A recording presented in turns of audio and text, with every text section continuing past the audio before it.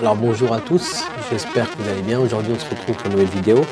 Ici la vidéo du déballage du fameux Redmi Note 13 Pro Plus qui est sorti tout récemment. Vous avez déjà sûrement dû voir d'ailleurs des vidéos euh, sur YouTube, même plein. Euh, j'ai pris parce que je pense que c'est un très bon compromis entre la, la puissance, l'équilibre, où il y a une cohésion parfaite. Parfaite rien n'est jamais parfait, mais par rapport à qualité, euh, prix, euh, produit, etc., je pense que ce Redmi Note 13 Pro Plus 5G offre beaucoup, beaucoup de choses. On va voir ici d'ailleurs euh, après ensemble les spécifications, mais je vous propose de commencer tout de suite par le déballage.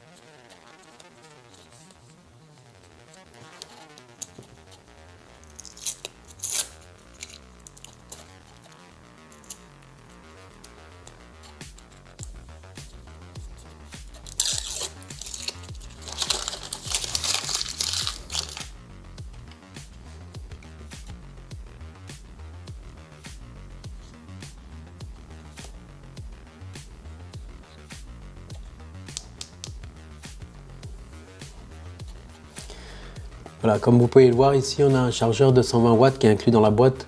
Donc vraiment top ici pour le, prix, vraiment euh, c'est très complet. On a également, comme vous avez pu voir, le câble USB euh, type A vers USB type C fourni avec. Vraiment, la Xiaomi nous offre tout et même cette coque, voilà. Alors c'est une coque toute basique, toute simple, hein, mais qui est fournie avec et franchement pour les protéger dès votre achat. Euh, après, si vous voulez changer, c'est à vous de voir, mais franchement, je pense qu'elle fera quand même le travail. Alors, pas des grandes chutes, mais euh, franchement, elle fera bien le boulot. Je trouve ici qu'on a un très bon euh, packaging.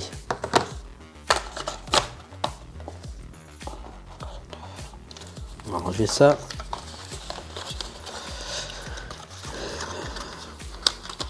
Et aussi l'éjecteur de carte SIM qui est ici. Hein.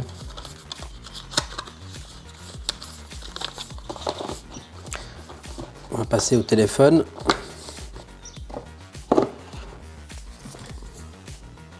Le téléphone ici. Donc ici, on va juste voir les caractéristiques principales ensemble qui sont écrites ici directement dessus.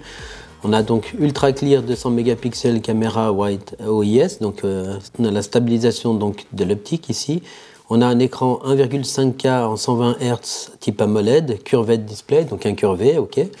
On a un immersive view with ultra light ultra thin bezels, donc euh, on a une immersion euh, d'image vraiment euh, avec des, bords très fins, d'accord? On a un processeur MediaTek Dimensity 7200 Ultra à l'intérieur également, qui va permettre de faire tourner beaucoup de choses. On le verra après pendant le test. Et on a donc l'hypercharge à 120 watts avec 5000 mAh de batterie à l'intérieur. Donc vraiment très bien. Et ça, pour ce prix-là, encore cette nouvelle option-là ici, donc on a une certification IP68 résistant à la poussière et à l'eau. Vraiment pour ce prix-là, euh, c'est rare de trouver des téléphones avec ce genre de caractéristiques. Ce qui en fait, je pense à mon avis, et c'est pour ça que je l'ai pris, quelque chose de très agréable. c'est parti.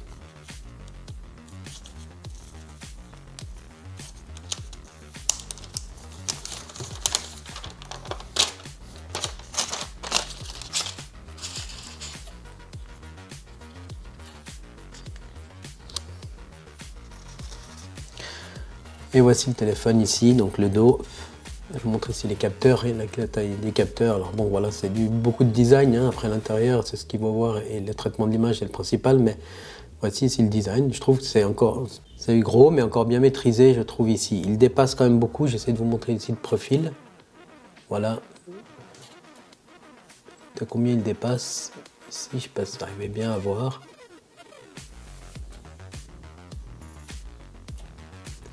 Donc voilà, très bon capteur, très beau design, je trouve très réussi. Après, est-ce qu'il va prendre les traces de doigts? Ça, on verra par la suite.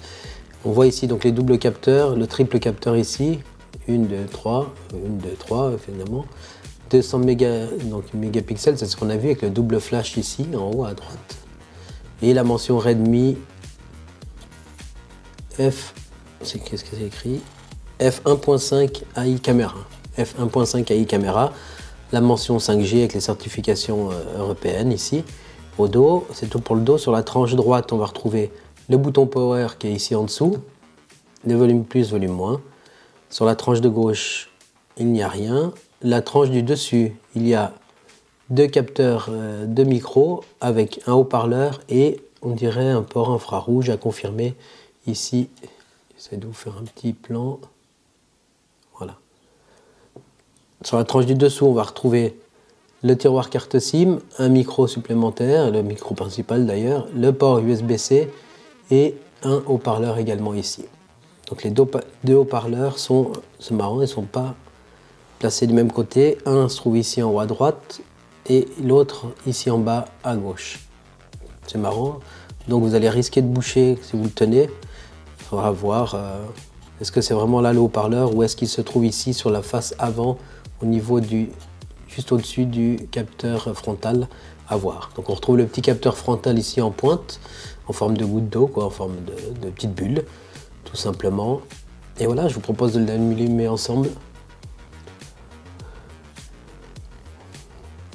J'espère qu'il y a de la batterie, oui, il démarre. J'essaie de faire un petit zoom ici.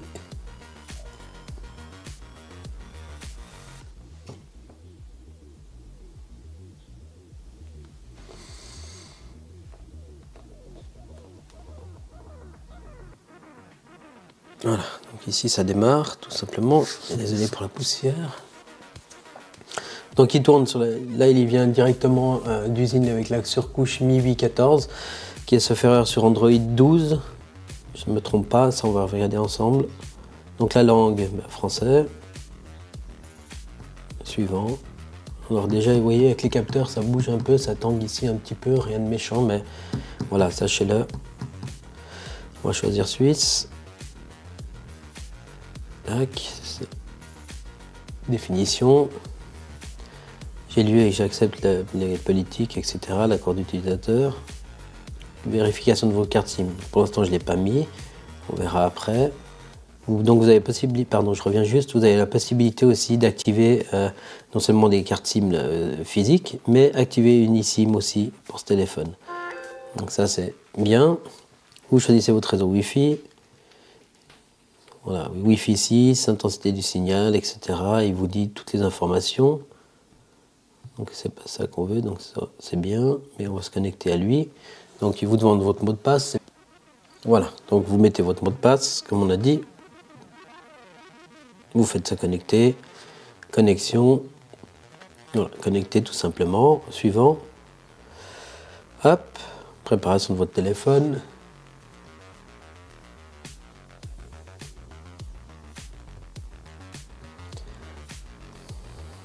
Vraiment une qualité ici qui me paraît trop belle.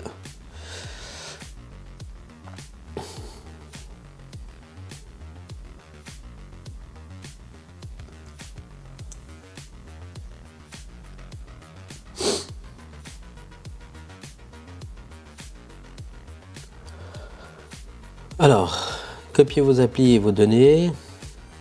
Donc là, on peut effectivement copier les choses, mais je ne vais pas le faire. Je vais partir de, zéro.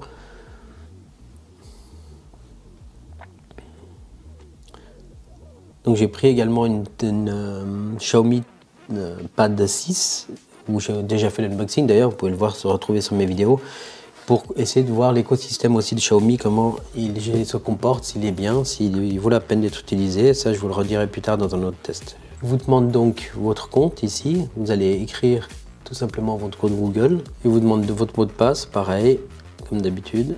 Même le vibreur haptique, je le trouve euh, très bien sûrement pas le meilleur de sa catégorie, mais pour le prix, encore une fois, je le trouve très bon ce vibreur haptique.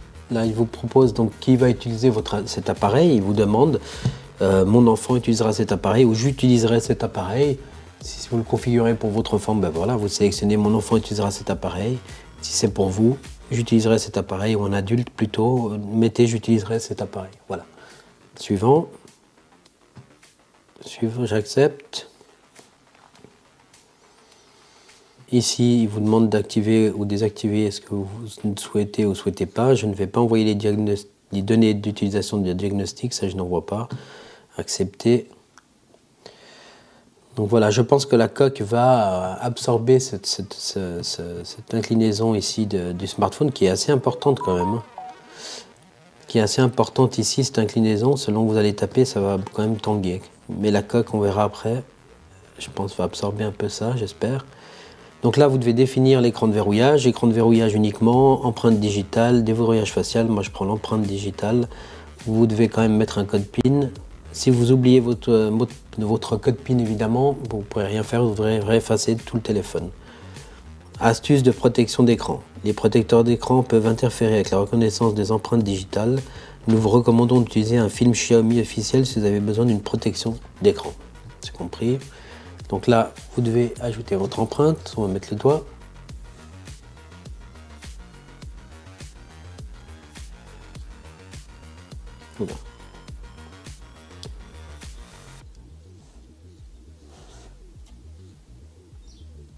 Il faut bien déplacer souvent. Le capteur a l'air assez capricieux quand même.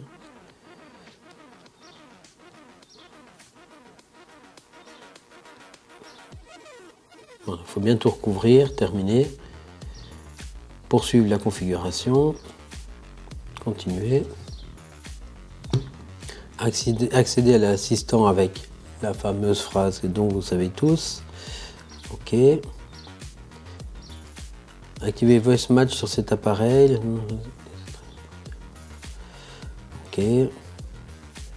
Alors, accéder à l'assistant sans déverrouiller votre appareil. Ça, je n'active pas cette fonction juste parce que euh, il suffit que quelqu'un ait une voix qui vous ressemble et pourrait accéder à votre assistant Google directement et demander des informations euh, personnelles, ce que euh, je ne souhaite pas, en tout cas pour ma part.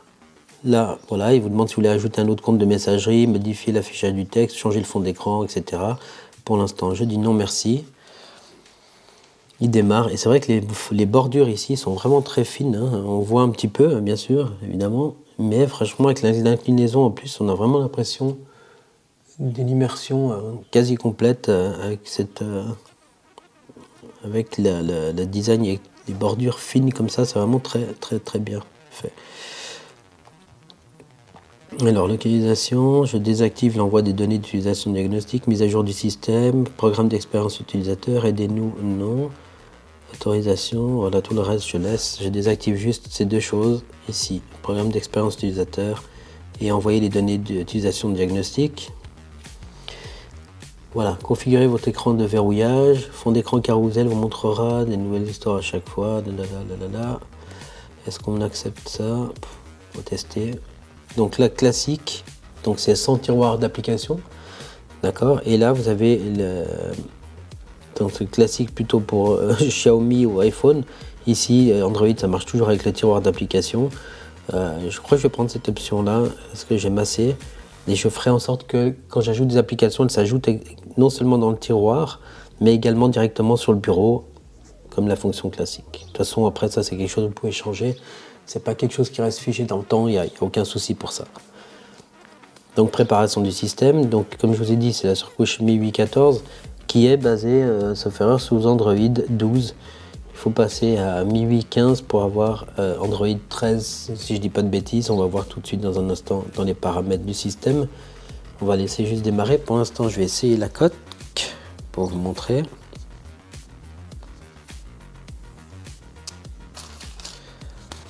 Essayer la coque ensemble. Donc elle rentre très facilement. Vous voyez l'esthétique ici avec la coque, ça, ça grossit, ça épaissit pas, beaucoup plus le téléphone. Et vous voyez, ils ont fait les bordures ici, le retour ici, la hauteur ici, assez haute pour justement pallier ici la hauteur du capteur afin que, voilà, vous voyez, ça ne bouge plus. Si vous utilisez avec la coque, vous pouvez taper au clavier, il va pas balancer gauche et droite, voyez, aucun problème. Juste là, ça va tanguer parce qu'il y a la surface évidemment euh, qui est plus haute ici. Mais pour taper quelque chose ou appuyer, vous n'aurez pas de problème, sauf si vous allez tout en haut. Voilà. Donc ça, c'était pour la petite coque. Configuration terminée, on fait suivant.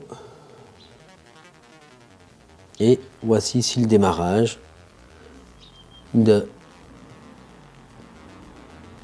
Alors, je ne sais pas si c'est le fond d'écran qui fait comme ça, mais on dirait qu'on a comme un problème de bande. On va essayer de changer tout de suite le fond d'écran.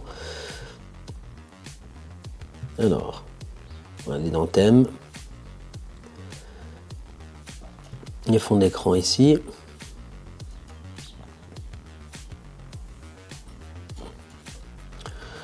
On va choisir un fond d'écran.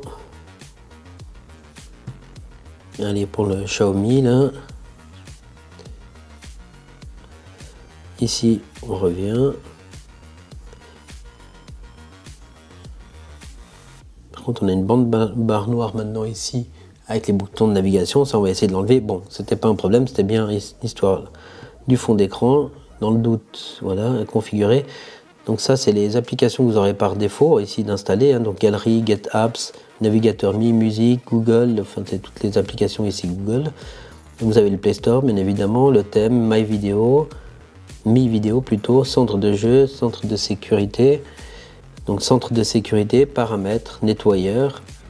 Et à droite encore, on a le gestionnaire de fichiers, ShareMe, c'est pour le partage de, fichiers si vous avez un autre appareil Android, un autre appareil Android par exemple. Paramètres pas, ça c'est le nombre de pages, j'imagine c'est un petit widget pour la santé. YouTube, YouTube Music, euh, un petit contrôleur pour la musique, pour euh, play, pause, stop, etc. Vous avez ici les outils euh, inclus, calculatrice, horloge, magnéto, scanner, téléchargement, boussole, service et commentaires, télécommande Mi. Bon, pour l'infrarouge, j'imagine bien que le port infrarouge qu'on a vu précédemment, vous l'utilisez depuis là. Ensuite, on a donc euh, ici plus d'applications. Donc ça, c'est... Ok. Donc ça, c'est des applications euh, ici déjà préinstallées. On a la boutique Amazon, Facebook, TikTok, LinkedIn, Spotify, AliExpress. Pour moi, je ne pense pas. Après, voilà, pas moi les inclus. Les applications qui sont déjà préinstallées incluent beaucoup de publicité en plus que par rapport à celles que vous téléchargeriez sur le Play Store. Je ne sais pas si c'est vrai à définir, mais voilà, dans le doute, ça vous coûte pas grand-chose d'aller euh, plutôt désinstaller information et puis là vous désinstallez. Je sais pas si quand vous faites retirer, ça retire juste sur l'écran. Mais bref, vous aurez compris, vous pouvez toutes les désinstaller. Ici, dans les jeux, c'est pareil. Vous voyez tous les jeux qui, sont là installés. Je vous recommande de les enlever. Et si vous voulez vraiment les, réinstaller, ben, vous allez sur le Play Store et vous les réinstallez. Maintenant, c'est vous qui voyez. Voilà, ça c'est pour la partie des jeux. Vous avez vu ce qu'il y avait. On a la météo, l'application météo, donc l'application Opera, Note, Xiaomi Community, Netflix et Home. Pareil pour Netflix, vous souhaitez le désinstaller depuis là et l'installer après directement depuis le Play Store, n'hésitez pas à le faire si vous le souhaitez. Donc après dans les paramètres, ici on a le, centre de commande donc qui est toujours aussi euh, élégant je trouve, propre, avec le petit effet de transparence à gauche notification. Voilà. Et nous on va aller dans les paramètres. Juste pour l'écran,